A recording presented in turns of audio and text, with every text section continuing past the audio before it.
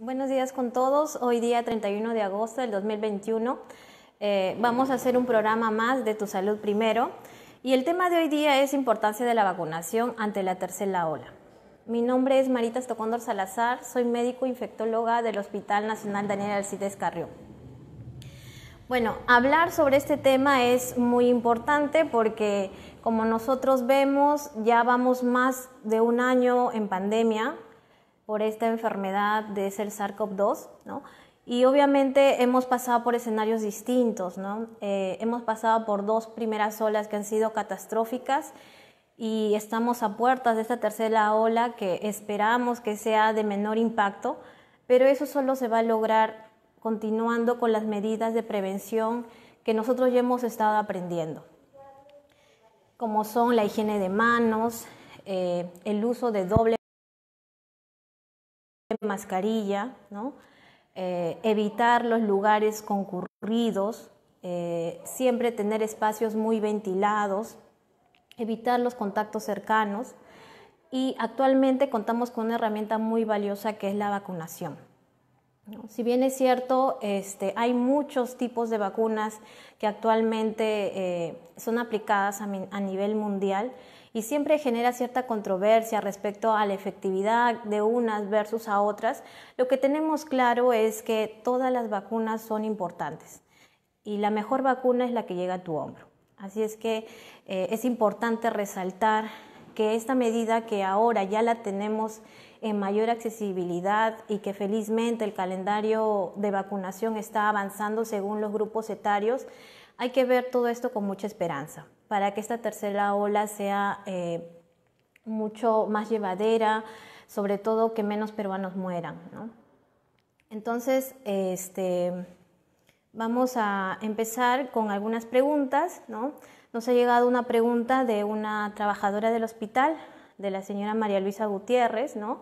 que es personal de nutrición y que nos indica que nosotros, trabajadores del hospital, estando vacunados con las dos dosis, estamos expuestas al contagio de la tercera ola. Aún así, cumpliendo todo el protocolo dicho por el Ministerio de Salud, ¿cuál sería nuestro descuido? ¿La mala alimentación? Bueno, hay que entender que las, vacunas, si bien es cierto, este, nos van a, proteger de tener una enfermedad grave, sobre todo nos van a proteger de morir. ¿no? Eh, el hecho de que estemos inmunizados eh, no significa que no podamos enfermarnos y por lo tanto no significa que no podamos transmitir la enfermedad. Básicamente lo que revelan los estudios es que el que nosotros estemos inmunizados va a evitar que nosotros eh, lamentablemente podamos fallecer. Entonces, ¿por qué? Me imagino que la preocupación es por qué si hay personas que se han vacunado, a pesar de eso enferman o algunos lamentablemente pueden desarrollar ah, alguna enfermedad grave ¿no? que los pueda llevar a UCI. Bueno, las vacunas, como nosotros sabemos, no son 100% efectivas y van a haber otros factores que van a involucrar que tal vez el nivel de protección de una persona sea distinta a otra, ¿no? Eh, como por ejemplo la edad, los factores o enfermedades concomitantes que puedan tener como diabetes, hipertensión, la obesidad, ¿no? Si bien es cierto, la pregunta de la trabajadora va dirigida a la nutrición, lo cual es importante, ¿no? Es importante también entender que si yo tengo esas comorbilidades, tengo que preocuparme de mantenerlas controladas, ¿no? Tener mis controles adecuados, eh, eh, tomar la medicación que el médico me ha indicado de manera periódica. Y con referente a la nutrición, claro, definitivamente, ¿no? Según la patología que yo presente, siempre tengo ciertas restricciones que no debo de, de sobrepasar, ¿no? Y la obesidad también es, un, es una enfermedad que la tenemos pues bastante presente en nuestro país, ¿no? Sobre todo porque normalizamos mucho el tema del sobrepeso, entonces el exceso de carbohidratos también es, es una mala alimentación, ¿no? Entonces todo eso influye a que lamentablemente, por más que yo esté vacunada, pues obviamente pueda desarrollar una enfermedad. Entonces, eh, básicamente volvamos a reforzar el tema que por más que nosotros estemos inmunizados, eso no quiere decir que no tengamos en cuenta las, demás medidas de prevención. ¿no? A veces eh, pareciera que, que pensamos que ya no estamos en pandemia, pero lo cierto es que aún está presente. Aún tenemos casos en los hospitales, si bien es cierto, no a la misma cantidad que meses atrás, y la mortalidad ha disminuido porque ya estamos accediendo a cada vez más vacunas, pero aún existen personas vulnerables, ¿no? sobre todo los adolescentes, los niños, y eso es algo que lamentablemente se está viendo en otras realidades, ¿no? que ahora esta tercera ola va a ser de las personas no vacunadas. Entonces, eh, es importante recalcar lo importante que es la vacunación. Si conoces a alguien que ya está en el grupo etario, según el cronograma del Ministerio de Salud, motívalo a que se vacune, ¿no? Este, y si ya tienes personas que están vacunadas, motívalos a que mantengan las mismas medidas de prevención, ¿no? que no vayan a reuniones, que no vayan a lugares con, este, con mucho aforo de personas, que no dejen de usar la mascarilla. ¿no? Este, yo sé que a veces uno tiene que salir a trabajar, exponerse, ¿no? pero este, si tengo personas vulnerables en mi hogar, entonces por ellos también tengo que cuidarme. ¿no? La vacunación no es algo obligatorio pero no, nosotros no somos unas islas. Nosotros estamos siempre este, en contacto con muchas personas y si bien es cierto, este, no es una obligación vacunarnos, pero pensemos en las personas que estamos alrededor, como les digo, personas vulnerables en nuestra casa y también niños este, que todavía no acceden a la vacunación. Entonces hay que ser responsables y conscientes de eso. ¿no? Eh, hay otra pregunta que me, preguntan, ¿qué sucede con las personas que no se vacunan? Bueno, eh, hay algunos datos que ya están tanto arrojando el Ministerio de Salud como algunos otros este, investigadores que refieren el impacto que es la vacuna, ¿no? O sea, cuando, cuando usan las estadísticas para ver ¿Qué tanto es el porcentaje de personas que han vacunado y que ingresan a UCI? Casi un 84% de las personas que ingresan a UCI son personas que no han recibido la vacuna. ¿no? De la misma manera, hay un porcentaje importante de las personas que fallecen que no han recibido la vacuna. Entonces, definitivamente, el impacto de vacunarse ya se está observando en la población, ¿no? Entonces, ¿qué pasa si no me vacuno? Pues lamentablemente tengo mayor riesgo de generar una forma severa y por lo tanto morir, ¿no? Y también de infectar a otras personas que están en mi entorno que aún lamentablemente no tienen el acceso a la vacunación por su grupo etario. Otra pregunta es, ¿hay alguna reacción negativa cuando uno se vacuna? Bueno, como toda vacuna, siempre pueden haber algunas reacciones adversas, ¿no? Eh, hay reacciones adversas leves como más reacciones adversas graves, ¿no? Entre las reacciones adversas más frecuentes que refieren la mayoría de las vacunas está pues el dolor en la zona de la inoculación de la vacuna. Podemos cursar también con un poco de dolor de cabeza, dolor articular, dolor de, músculos, ¿no? malestar general, eh, pero es algo que va a pasar entre los 3 a 4 días posterior a la vacuna. Si bien es cierto, han reportado unas reacciones adversas, como el caso de trombosis o miocarditis, pero la presencia de, esto, de este tipo de reacciones adversas ha sido muy baja, comparado a 5 por, un millón de personas, ¿no? Realmente es un, es un número bastante insignificante en comparación de todos los beneficios que nos ocasiona la vacunación, ¿no? Incluso el riesgo de trombosis que pueden generar algunas vacunas eh, es inferior al riesgo de trombosis que puede generar el mismo SARS-CoV-2. Entonces, no hay justificación para no vacunarlos. Em, creo que ha llegado otra pregunta. A ver. A ver, Silvia. Teresa Villalobos pregunta, a mi mamá la vacuna Pfizer le cayó muy mal, la tumbó a cama. Le dio miedo irse a poner la segunda, pero la convencí. Aún así, los síntomas fueron igual de terribles. Bueno, Teresa, sí pasa, ¿no? Hay algunas personas que, y también se refiere en la literatura, que en las vacunas la primera dosis incluso es mucho más intensa las reacciones adversas que en la segunda dosis, ¿no? Pero como tú también te has dado cuenta, es algo que va a pasar, ¿no? Eh, si bien es cierto, las molestias pueden durar unos 3-4 días, pero el beneficio es mucho mayor, ¿no?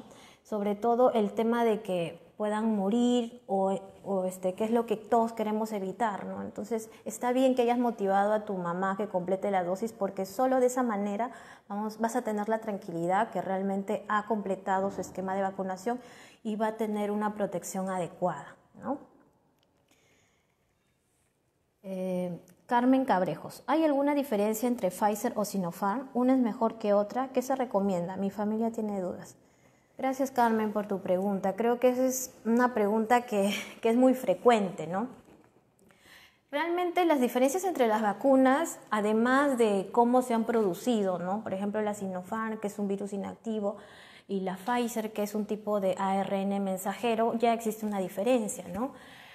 hay diferencia en la efectividad también, ¿no? Pero lo cierto es que en ambas vacunas se ha podido demostrar que reduce el riesgo de formas severas y también de muerte. Lamentablemente, eh, no todo, este, la producción de vacunas igual sigue siendo lenta, la demanda de vacunas es bastante alta, entonces no podemos ser selectivos en el tema de, la vacunación. Creo que debemos de aprovechar las vacunas que actualmente nos ofrece el Estado de manera gratuita y no, y no demorarnos en vacunarnos. Como le digo, ya estamos a puertas de una tercera ola y el objetivo que tenemos ahora es que la mayoría de nuestra población esté vacunada para evitar más muertes. Actualmente estamos con un 30-35% de, de personas vacunadas aún con una dosis y un 30% de personas que están en la segunda dosis. Entonces, aún tenemos un largo trecho que, que, seguir vacunando. Entonces, si ya estamos en el grupo etario, si ya tenemos que, que vacunarnos, hagámoslo, sin importar la marca, porque todas las vacunas que se está aplicando actualmente por el Ministerio de Salud, tienen una, una aprobación por estudios eh, estrictamente monitorizados y avalados por la Organización Mundial de la Salud y por lo tanto cumplen la función, que es evitar las muertes y las formas severas. Eh, finalmente, Carlos Jiménez nos pregunta, una vez todos vacunamos, ¿podremos recuperar nuestras vidas de antes? Bueno, eso es lo que todos queremos, Carlos, ¿no? Eh, sí, definitivamente vamos a tratar de, que sea así, creo que ese es el deseo de todos, ¿no? Pero hay que tener algo en cuenta, ¿no? El tema de que todos estemos vacunados no significa que bajemos la guardia. Tenemos que mantener las mismas medidas de prevención, porque si no vamos a generar que este virus siga replicándose y se generen variables mucho más resistentes, que ese es el gran temor, ¿no? Que el virus se siga replicando y siga generando variantes que, que se escapen del sistema inmunológico y que se escapen lamentablemente de toda la efectividad que puede generar la vacuna. ¿no? Entonces, ¿cómo podemos evitar eso? Tomando las, las mismas medidas de prevención, sobre todo el tema de, de las reuniones clandestinas que cada vez es más frecuente en, en los reportajes, ¿no? Entonces, si todos queremos regresar a una vida normal, todos tenemos que colaborar, ¿no? Como les digo, este, hay que pensar más allá del momento, sino en el futuro, ¿no?